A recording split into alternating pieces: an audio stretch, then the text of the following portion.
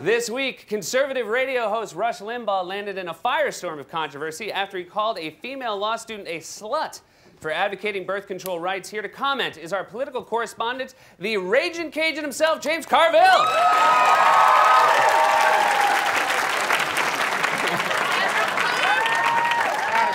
Hey, how are you, James? Well, they ain't found the bodies yet, Seth, so I'm doing just fine. All right, yeah. Now, uh, what do you think of Limbaugh's comments this week?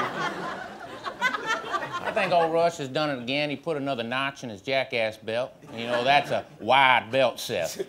Like one of those long braided belts that fatties prefer. Yeah, no, I know. I know the belt you're talking about. Now, even though Limbaugh apologized, yeah.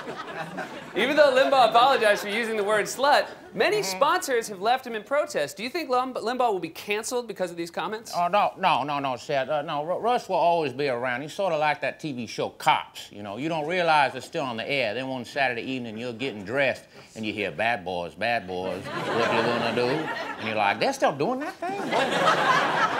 Now, James, you know, while we have you here, we haven't had a chance to ask, what do you think of the Republican candidates? Oh, I think plenty about them. and I laugh. I laugh. I mean, look at the front runner, Mitt Romney. I mean, I know Romney looks like a president, but we don't always get the job we look right for. If we did, I'd be the king of the snakes.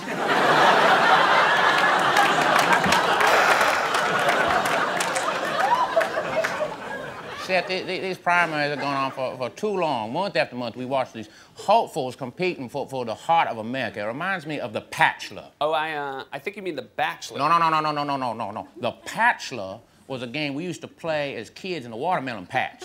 One boy would be declared the bachelor, okay. normally Ducky Boudreaux.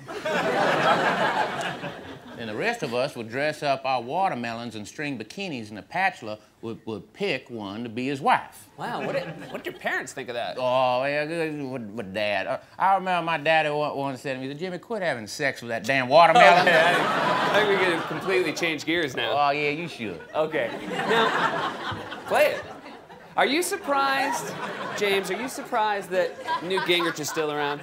Yes, yeah. I thought I killed him 15 years ago. What? Yeah, I'm serious. When Newt tried that government shutdown in the 90s, I swore I, I go, I get him. Ah, I get him. And so, so here's what I did. I put a personal ad in the Washington Post saying I was a single white female looking for an open relationship with a married DC power player. I said, looks do not matter, but I love it when a guy is just a big blob of gray. I even attached a photo of me in a blonde wig posing like this. So anyway, we started dating. Wait a second. You dated Newt Gingrich? yeah.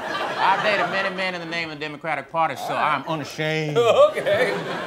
One night, Newt and I go paddle boating on the Potomac River. Now, it doesn't matter why, but I'm friends with some alligators.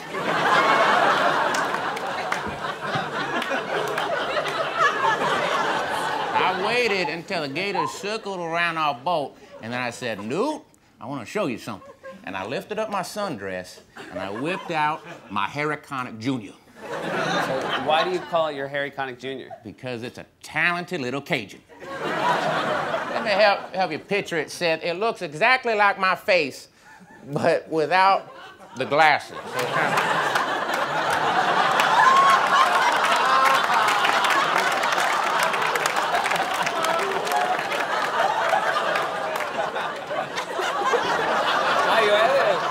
I think we get it. No, okay. Now Newt looked at it and jumped out of the boat. Can't blame him. Yeah, the gators devoured him, or so I thought. Well, that is an amazing story. So what's next for James Carville? I got, got to get ready. I got a date with John Boehner. All right. James Carville, everybody.